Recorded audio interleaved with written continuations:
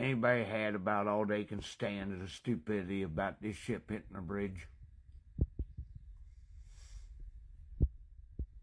Jesus Christ, there was not no dynamite. It's electrical cables. I don't give a shit what you morons think. Oh, they don't put cables up that high. I'd love to know what you think made them daggone FAA lights that blink red to alert aircraft run off of. If they're at the top, there's got to be a damn power cable going to the top.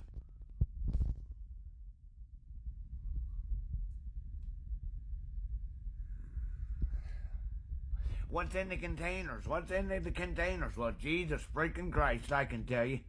Your last week's damn Amazon order.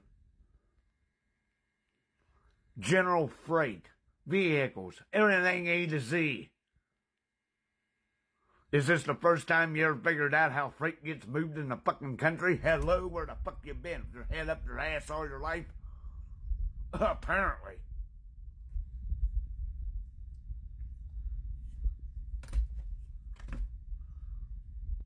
People can't figure out how they shut traffic down so fast.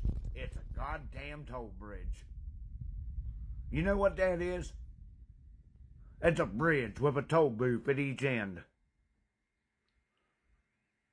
You pay money to lift the gate to go across after you pay your toll. You don't pay, the gate stays closed.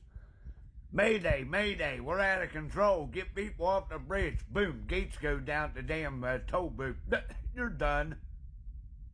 No more traffic. It's that damn easy.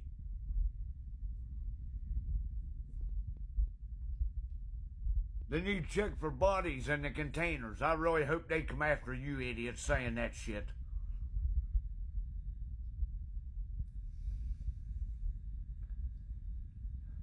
And the biggest one, who's filming? Who's filming? Who's filming?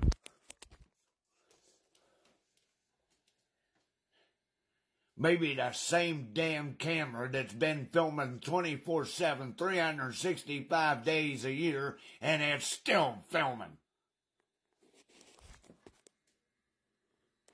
Wasn't nobody sitting in a car, wasn't nobody filming it because it was on purpose. Another